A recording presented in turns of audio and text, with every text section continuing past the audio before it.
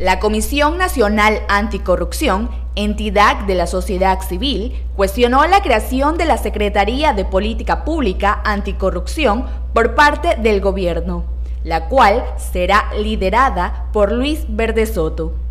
En un comunicado publicado la noche de este miércoles 4 de mayo, se critica que la lucha contra la corrupción no puede servir de pretexto para ampliar la burocracia estatal o para encubrir al poder.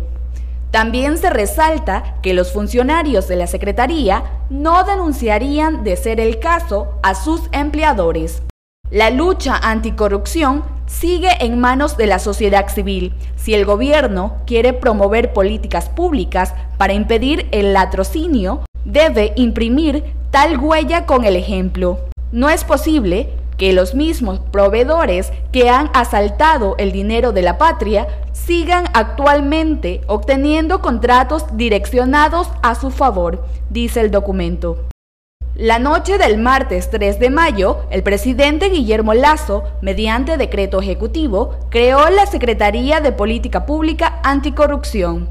La nueva institución tendrá una oficina técnica en el Palacio de Carondelet y contará con una estrategia anticorrupción. Para Radio El Original, informó Noemi López.